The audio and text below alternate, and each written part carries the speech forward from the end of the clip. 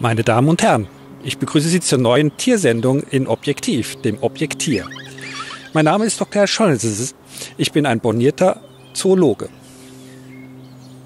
promovierter Ornithologe. Sie kennen mich aus Kindersendungen wie Lutsch nicht an dem Wurm und Das Braune sind keine Murmeln. Ich möchte Ihnen heute ein ganz besonderes Tier vorstellen, den buntgefiederten Röhrentrötling. Wie Sie sich bei dem Namen natürlich denken können, handelt es sich bei dem Tier natürlich um einen Vogel. Die leuchtend grauen Exemplare können in ihrer Heimat, der grönländischen Steppe, auch mal Tiere wie Elefanten reißen, gelten hier in Deutschland jedoch eher als scheu. Doch sie sind vom Aussterben bedroht. Doch woran liegt das?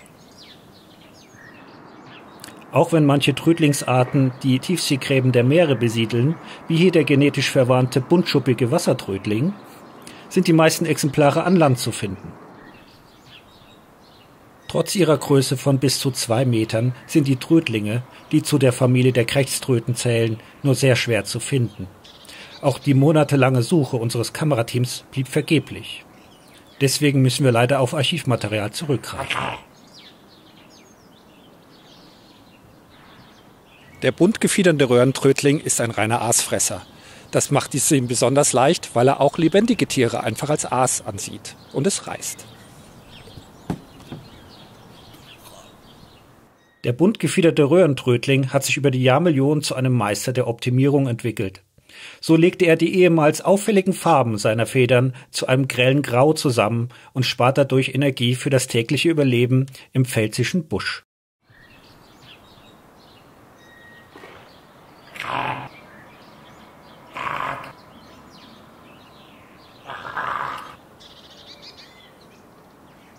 Auch der Gesang des Trödlings, hier exemplarisch das melodiöse Morgenlied eines Männchens, entstand auf gleiche Weise.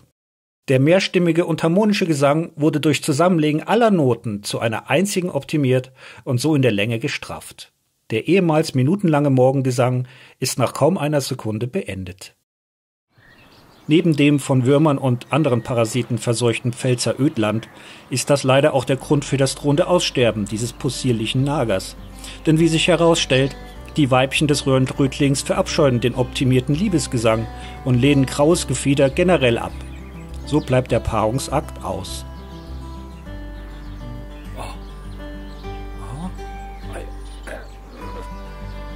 Auch unsere Suche nach einem bunt gefiederten Röhrentrötling war trotz aller Bemühungen erfolglos.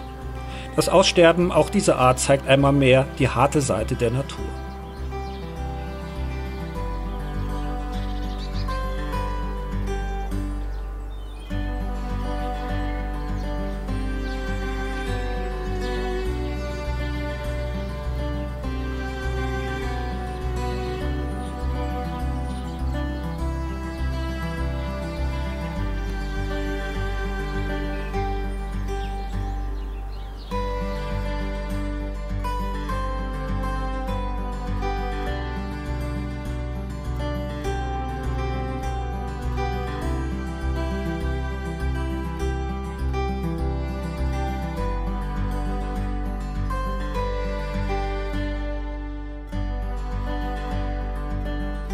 In der nächsten Folge von Objektier der schillernde Gusssteinblöckling, eine Augenweide für alle Naturfreunde.